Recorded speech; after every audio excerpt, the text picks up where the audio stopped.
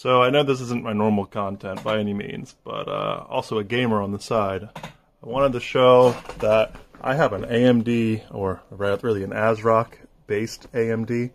It's not a reference card.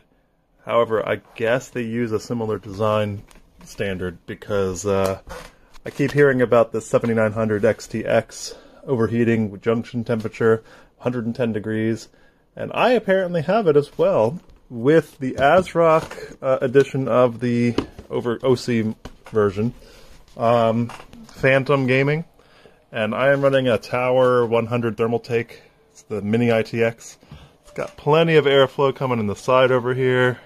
Got airflow down here. I don't have a game running yet, but I'm going to show you uh, down here as well. Not so airflow, but the power supply is here, so I don't think it's going to cause the issue, but that's where it goes.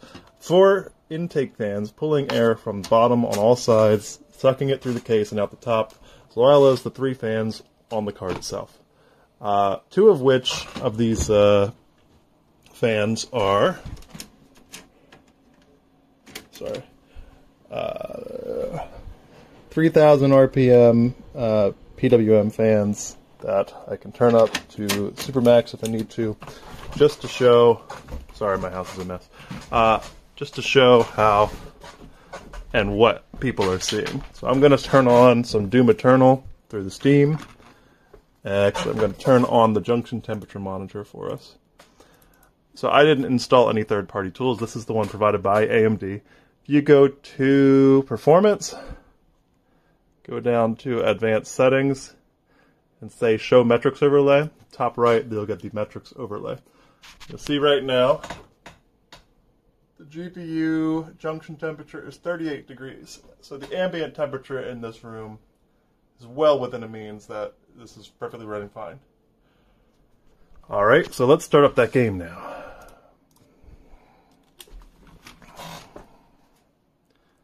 Let's do this one. Give it a minute.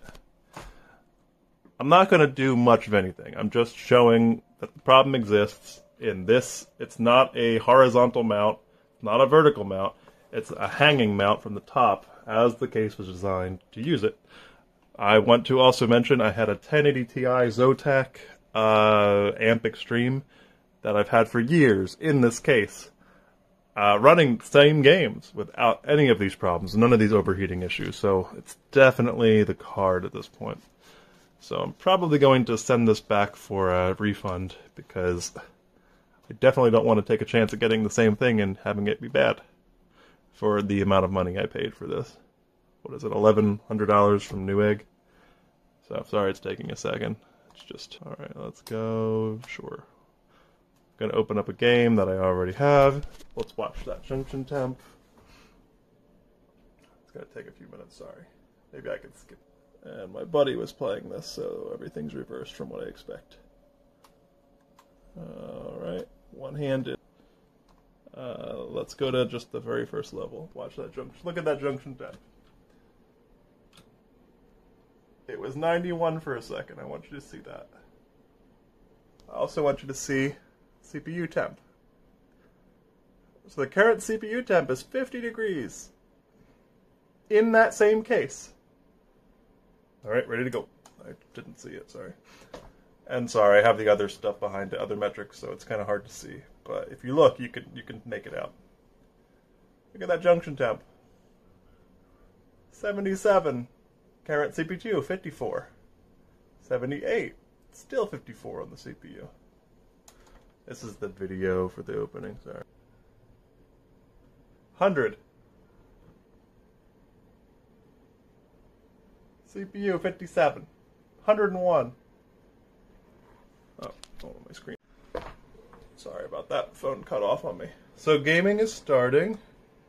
I'm gonna hold X to skip and watch that peg. 104, 103.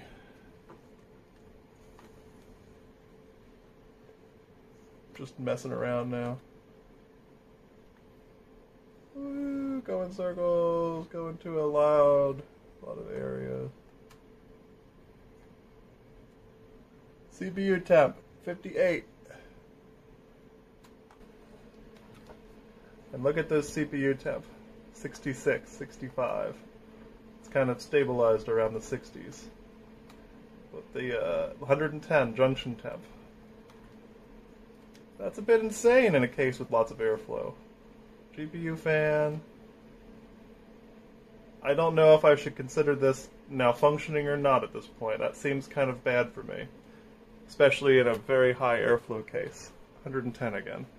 109. And it's not going to come back down from there while running this game.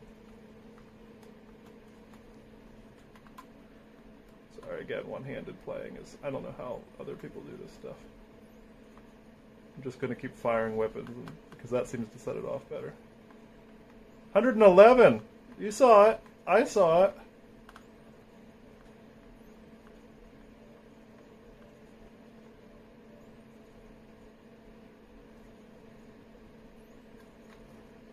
Anyway, uh, yeah, that's what I'm seeing.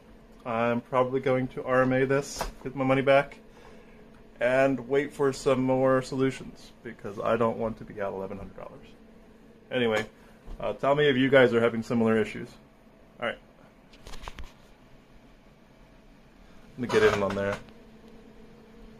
110. CPU 66. I think that's insane.